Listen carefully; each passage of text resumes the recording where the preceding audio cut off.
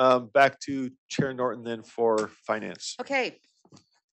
Agenda item twelve point two, R277-463, class size average and pupil teacher.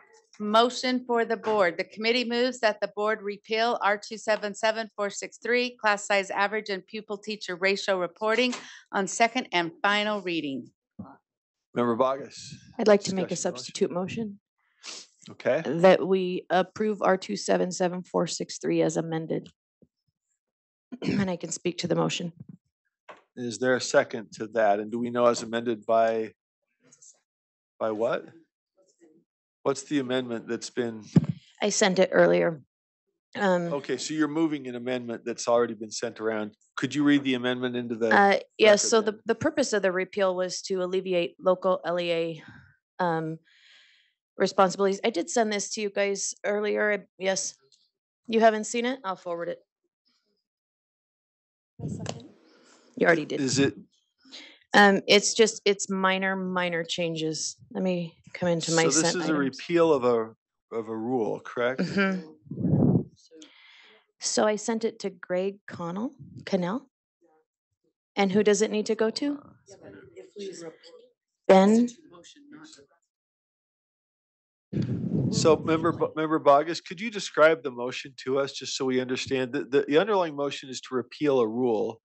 What would be the effect of the amendment while they're pulling up the specific language Um, of, sorry, sorry, the substitute motion? Thank you. so the effect would be, um, the, it, the alleviation of local uh, reporting would still be in effect, but the, the effect of the repeal is local access to the information without a GRAMA request. And so this would move the, the responsibility of reporting that data from the local entity to the state.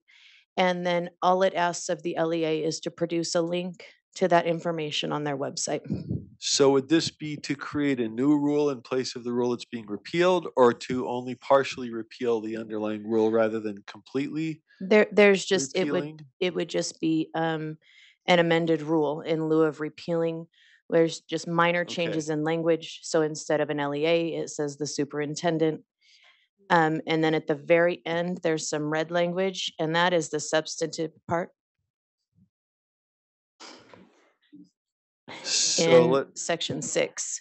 Okay, so we're, so rather than repealing the rule, you would be keeping the rule and amending the rule, revising the rule. Yes, and the, the substantive part of that is right there at the end, um, where it takes all of the reporting out of the hands of the LEA, takes it into the state agency, and all I'm asking the LEA to do is to report the aggregated data on those websites, or, or no, the state would do that, and then the LEA needs to post a link to those websites um, on their institutional and LEA websites, as it corresponds to the same.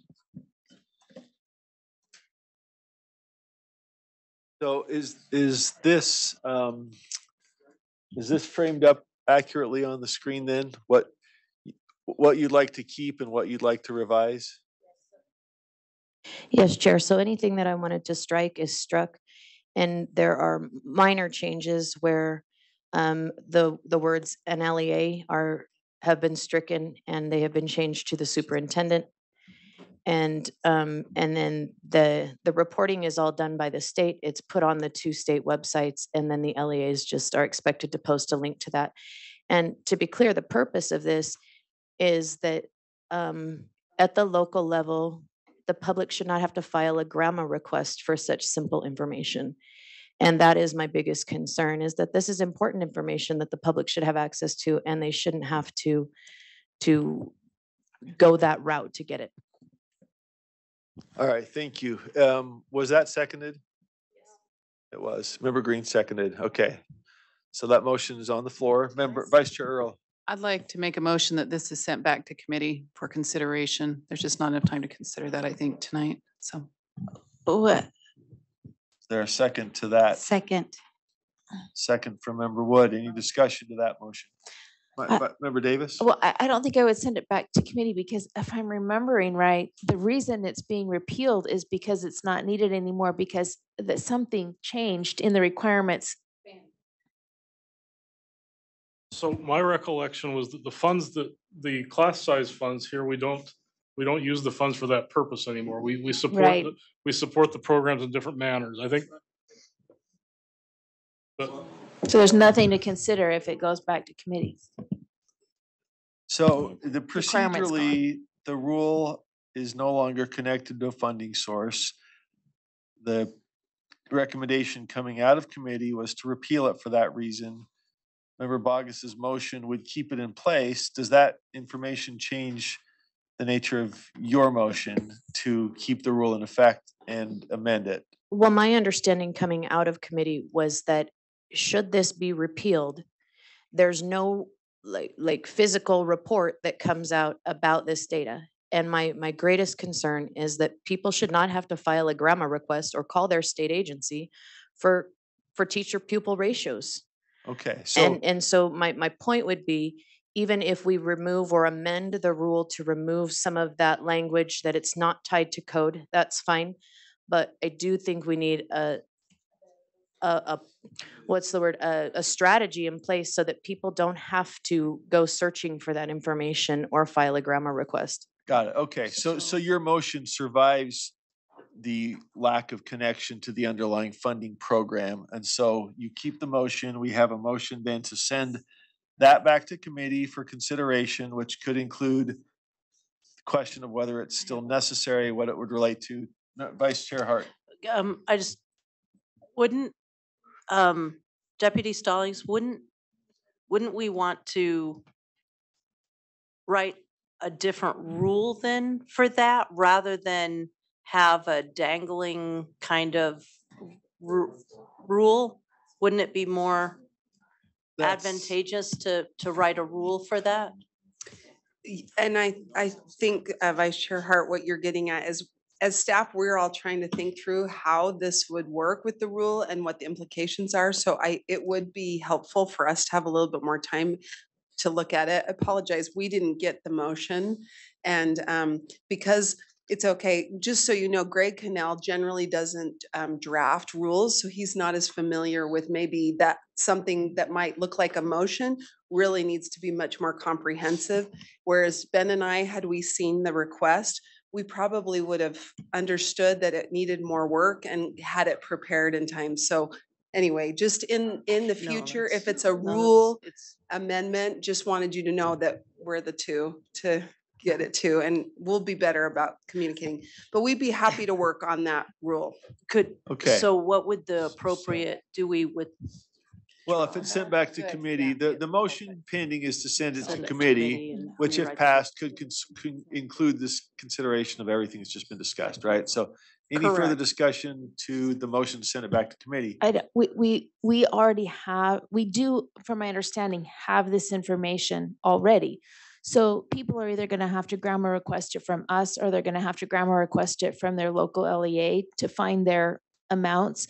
But even if the extra step of the LEA's reporting another report to us, they don't do the extra step, my understanding is based on funding, Scott Jones is saying we still have the data anyway.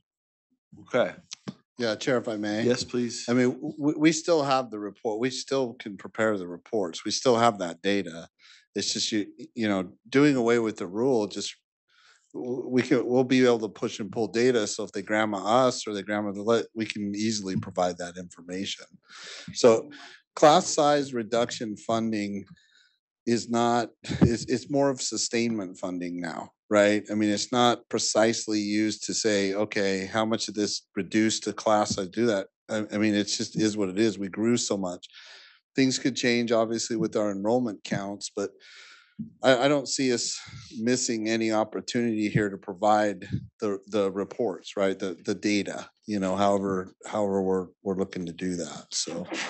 And quick follow-up, Okay. I agree with member Boggess. This, this data is important. I mean, we, we need to know our, our teacher Yeah, we student don't lose the ratios. data by. But I think we the have rule. it still. Okay, so the motion Chair, on if the I may. floor, yes. I- I, just to speak very quickly, my concern is not that we don't have the data. My concern is that it's not readily available to the public without a GRAMA request. And I don't think that the public should have to file a GRAMA request for the data. And so what I'm asking is, and uh, sending this back to committee, I'm in full support of, but what I'm asking is the date, that the state prepare that data, that they put it on their websites, and all we're asking LEAs to do in this amended rule is to post links to the state website on their institutional and LEA websites in a very clear and transparent way. All right, so just to reiterate the, the, the, the motions that are before the body, the underlying motion is to repeal the rule. Member Bo- Member Boggess's motion is to, instead of repealing, maintain the rule and revise it as stated here. The motion currently pending is to send that question and the related questions back to the Finance Committee for consideration. So that's, that's the sequence with the motion before the body then is to send back to Finance Committee. All in favor, please raise your hand. Five. Seven, that motion fails. The motion then before the body is member Boggess's motion, rather than repealing the rule to maintain and revise the rule as presented up on the screen. Any further discussion of that motion? So, well, I think that is now, the rule that is currently in effect would be repealed by the underlying motion. Member Boggess's motion would keep it in effect and revise it as stated on the screen. So that's, that's the current That doesn't work. question. It, think. it may not work, but that's, that's Okay. the, that's the question. Yes, member Lear. I agree with her concern. Wouldn't, me make a substitute motion. That the, the rule, that the idea for this rule is sent to leadership to direct staff to come up with a different rule. Isn't that what you're wanting Well, to we, do? we, we, c- we could, all right, no substitute. So we have before the body. Thank you. All right, if there are concerns about the motion, then you can vote that way. If you approve the motion, sorry? I can't substitute. Oh, okay, Okay, All right. so member Boggess's substitute motion is on the floor. The motion is rather than to repeal, to maintain the rule and revise as stated on the screen. All in favor, please raise your hand. No, that's dumb, Christine. Anyone? Okay, that motion fails. And we return to the underlying motion out of finance, which was to repeal rule um, R two seven seven four six three on second and final reading. Any final discussion of that motion? But I don't, If, let me try again. Um, is, so is there any way to, do we just say that this idea is preserved and leadership will ask them? we'll ask somebody the could request that, prepare a th- rule? there's other ways to request it. Okay, Right, this all would right. repeal the underlying rule, whatever concept members right. are interested in, Yep. so, All right. all right, that's so good. I just didn't want to lose the thought, so. Motion before the body was to repeal R two seven seven four six three on second and final reading. All in favor, please raise your hand. Any opposed? That motion passes unanimously. Okay, a no? Uh, there were two no's. I couldn't see hands. I'm sorry, folks. I'm, I'm looking for hands. Did you guys get? You got no, okay. I'm Tall hands. You All gotta- right, you I'm, gotta I'm have looking big, for tall hands. We gotta get them This up is there. Clear to the ceiling, yeah. Yes, please. I No, think we no, got it no, now. No, we just.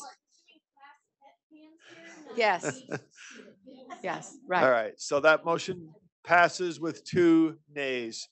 Back Agenda to item- Chair Norton. Agenda item twelve point four, R two seven seven six hundred, student transportation standards and procedures.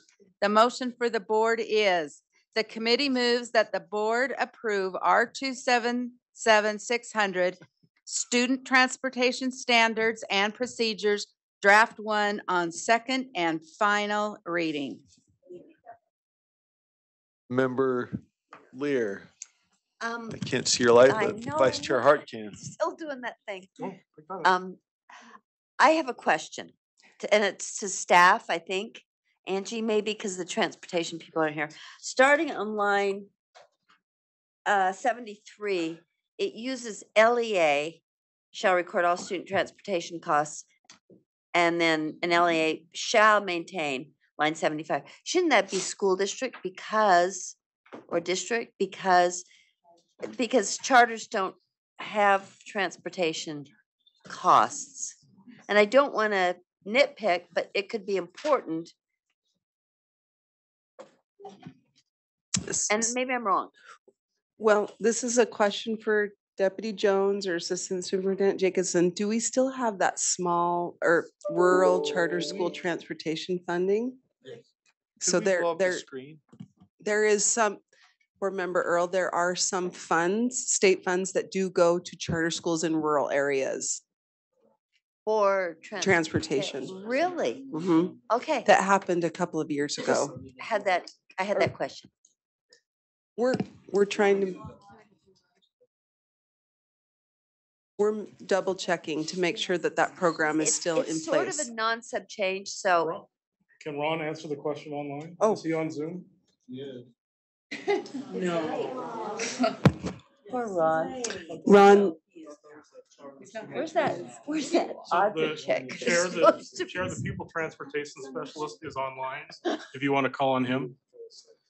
Okay, who? Oh, maybe it's. Ron Litchfield? There he is. There. Uh, thank you for joining us. That's your oh, guy. So embarrassed. You're muted, though. Can you hear me now? There we go. I'm Ron Litchfield, the Transportation Specialist for the State Board of Education. And yes, we do have one, the Rural Transportation Reimbursement Grant, which we do have one charter that does Okay, qualify for transportation funding. thank you. Great, that's. We're good. That's all I, I just had a question. Go, Kristen. All right, any other discussion? They are way too much fun. This is, you got, we, we should just start at five. We should start at five going forward. All right, any, fu- any other discussion of the motion? Sorry? Member Norton? Any other discussion to the motion? If not, we have an actual wave going. If not, all those in favor, please raise your hand.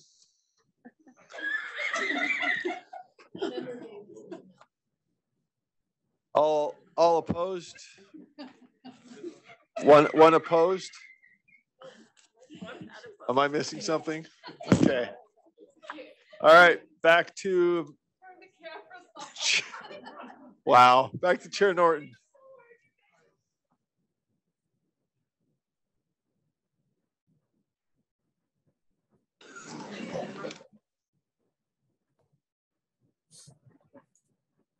Did we pull eleven point seven? I think we're on twelve point eight Okay, um, or no, twelve point seven, but number twelve point seven, approve small action district capital project, panel projects, panel projects. Whoops, over two million. Motion for the board, So- the committee moves that the board approve the small school district capital projects fund fiscal year twenty-three panel recommendations.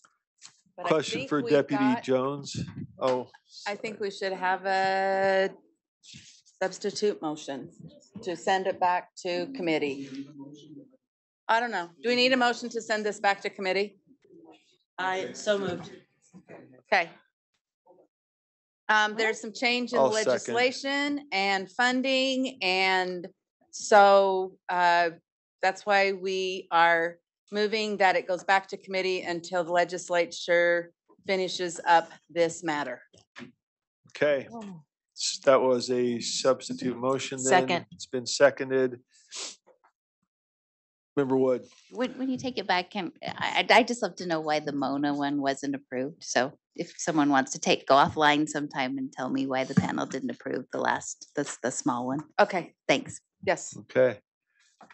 So the motion is to send this item back to the Finance Committee. All in favor, please raise your hand. Any opposed? That motion passes unanimously. Okay, twelve point eight, correction to teacher and student success act, sorry, account TSSA distribution fiscal year twenty twenty-two mid-year update. The motion before the board is the committee moves that the board approve the use of available unrestricted one-time funds to hold the LEAs that had their TSSA allocations adjusted downward harmless for state fiscal year twenty twenty through twenty twenty-two. Okay, any member comments or questions to that motion? Member Boggess? Just for a point of clarity, um, I believe you said twenty twenty to twenty twenty-two and Twenty twenty through twenty twenty-two. it, the motion on the board just says fiscal year twenty It's twenty-two. been updated.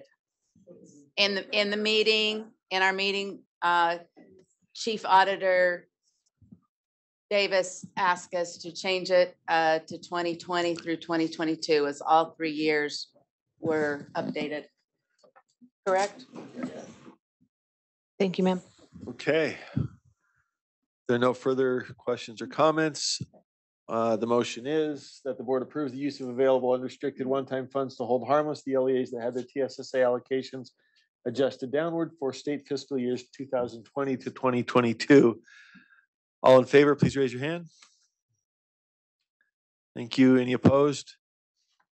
That motion passes unanimously.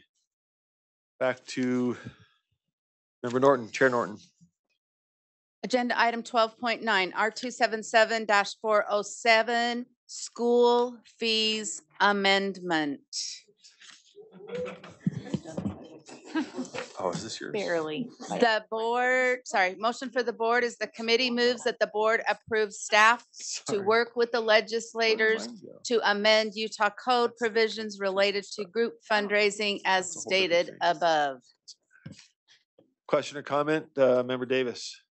Oh, I thought I had to make that amendment. You do. Oh, this one, this one's, this is this one. Everyone vote for this.